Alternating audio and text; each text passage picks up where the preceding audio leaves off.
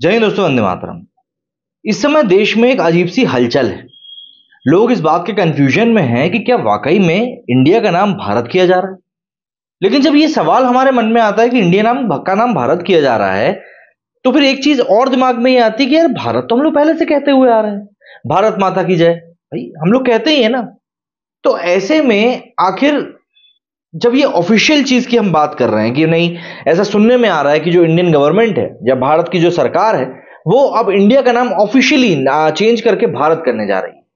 इसके पीछे ऑब्वियसली बात है, एक बड़ा रीजन ये भी समझ में आता है कि जो ऑपोजिशन पार्टीज़ का जो एक पूरा का पूरा संगठन बना है, विपक्ष बना है, वो कहीं ना कहीं उसने अपना नाम जब से इंडिया रखा है, तब से भी एक बेचैनी देखी जा रही है। तो ऑब्वियसली बात है, उससे भी इसको जोड़कर देखा जा रहा है। तो इस वीडियो में हम लोग बात करने वाले हैं कि आखिर इस जो ये पूरा का पूरा एक कार्यक्रम चल रहा है, इसके ऊपर किस नेता ने क्या कुछ कहा है? और सबसे बड़ी बात यह कि जी ट्वेंटी से ठीक पहले देश के नाम को लेकर सियासी घमासान शुरू हो चुका है। इस पूरी बहस की शुरुआत राष्ट्रपति भवन से आए निमंत्रण पत्र से हुई, जिसमें प्रेसिडेंट ऑफ़ इंडिया की जगह प्रेसिडेंट ऑफ़ भारत लिखा था।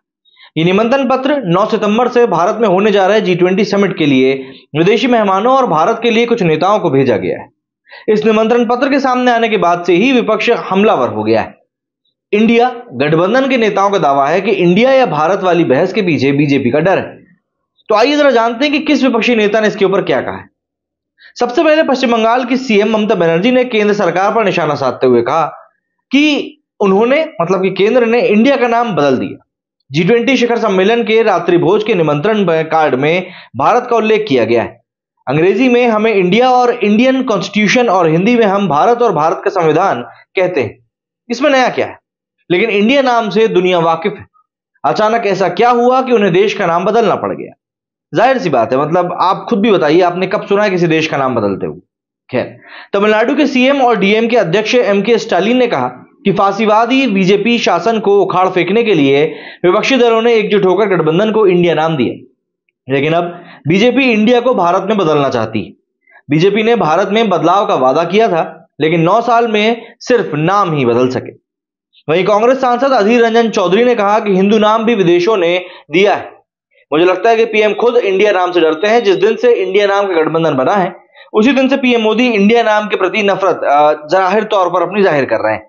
अगर वे अंग्रेज़ों के इतने ही खिलाफ है तो उन्हें राष्ट्रपति भवन, जो कि वायसराय का घर था, उसका भी त्याग कर देना चाहिए। ऐसे मुझे ऐसा लगता है कुछ दिनों में तो ये होने ही वाला है। खैर, इसके आगे सीपीआई मतलब कि एम एल लिबरेशन ने कहा कि मोदी सरकार नोटबंदी के बाद अब नामबंदी करने जा रही। वहीं दिल्ली के सीएम और आम आदमी पार्टी के संयोजक अरविंद केजरीवाल ने कहा कि अगर कुछ पार्टियों का गठबंधन इंडिया नाम बन जाता है तो क्या वे देश का नाम बदल देंगे? देश 140 करोड़ लोगों का है, किसी पार्टी का नहीं। मान लीजिए कि अगर इंडिया गठबंधन का नाम बदलकर भारत रखता है तो क्या वे भारत का नाम बदलकर बीजेपी कर देंगे?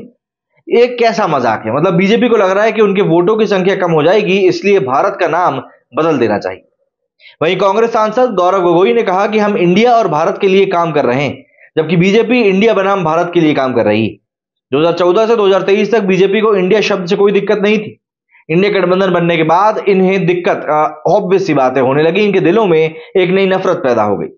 ये इस बात को पचा नहीं पा रहे हैं कि इंडिया गठबंधन को जनता ने स्वीकार कर लिया है। महँगाई, बेरोजगारी, अडानी के खिलाफ जाँच, चीन, लद्दाख, जम्मू कश्मीर और मणिपुर, हिंसा जैसे अहम मुद्दों से बीजेपी लगातार ध्यान भटकाने की कोशिश करती रहती। है वहीं बिहार के डिप्टी सीएम और राजद नेता तेजस्वी यादव ने कहा कि पीएम मोदी पहले कहते थे, vote for India, make in India, stand up India startup India, shining India. यहाँ तक कि आधार और पासपोर्ट पर इंडिया का ज़िक्र है। यह दिखाता है कि पीएम मोदी इंडिया गठबंधन से डरे हुए हैं। संविधान में we the people of India का उल्लेख है। इंडिया गठबंधन का नारा है, जुड़ेगा इंडिया, जीतेगा भारत। अगर उन्हें इंडिया से दिक्कत है तो उन्हें भारत से भी दिक्कत होनी चाहिए। ये बीजेपी के लोग डरे हुए हैं, इंडिया और भारत एक ही है। इंडिया भारत है और भारत इंडिया है। ये घबराहट की वजह से ऐसे फैसले समय ले रहे हैं। वहीं डीएमके के सांसद तिरुचि शिवा ने कहा कि ये इंडिया नाम से डरते हैं। इंडिया न केवल देश का नाम है, बल्कि दुनिया भर के लोग इसे अच्छे से जानते हैं। कोई भी इसका नाम नहीं बदल सकता। विपक्षी दलों के एकजुट होने और गठबंधन का नाम इंडिया रखने से बीजेपी डर चुकी कांग्रेस नेता संदीप दीक्षित ने कहा कि अगर आप हमारा संविधान पढ़ेंगे तो उसमें लिखा है, India that is Bharat. Bharat कई संदर्भों, संस्कृति में प्रचलित है। ये भाषा का मामला है। मुझे नहीं लगता कि नामों से बहुत ज़्यादा फ़र्क पड़ता है। बीजेपी को विकास, महँगाई, रोज़गार, भ्रष्टाचार पर ध्यान देना चाहिए।